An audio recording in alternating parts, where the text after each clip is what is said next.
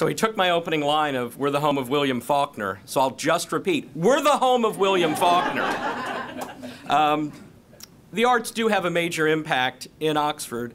Um, not only were we the home of William Faulkner, we're the birthplace of America's music and the blues.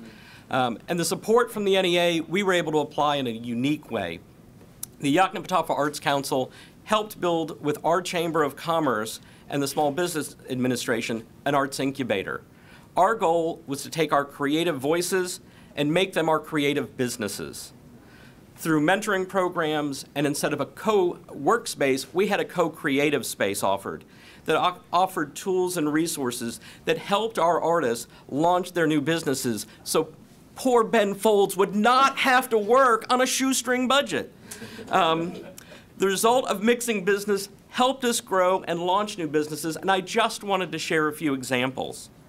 Female filmmaker Melanie Addington recognized that the need for film equipment, a film equipment co-op, would expand access to film production tools in our community. It would create new stories. It would drive business. We were able to establish that, offer training, and the result was last year 28 projects were produced in our community. We're a town of 23,000 people. So to have 28 projects come in and hire local, tell our stories, and celebrate Mississippi, we think is significant. It also provided the training so now these people have the opportunity to do jobs from across the country. And we had our first sound production studio open up that is drawing uh, work from across the country and producing and mixing sound for films right in Little Oxford, Mississippi. Costume designer Andy Bedsworth came to us with an idea about an art school so she could provide access to arts education at every level. And in talking to our mentors and business partners at the Chamber, she realized what we really needed in a rural state was a mobile art school.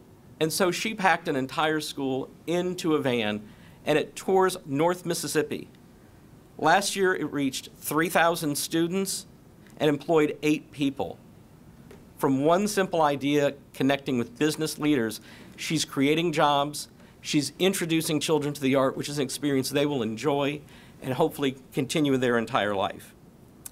Our Arts Council appreciates the ability to have funding from the NEA. It inspired us to do new things and help our community.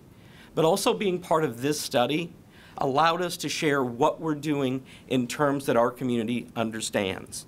It allowed us to show the jobs, the impact, and as a college football town home to the University of Mississippi, it was, we could put it in terms the community really understands. 220,000 people came to our community last year. In our economy, that's two football games. and we can guarantee we won both of those games because it offered 320 days of programming. So thank you to the support for the NEA, and thank you to Arts Americans for the Arts for allowing us to share this information and make it something that our community could understand and, and see the impact.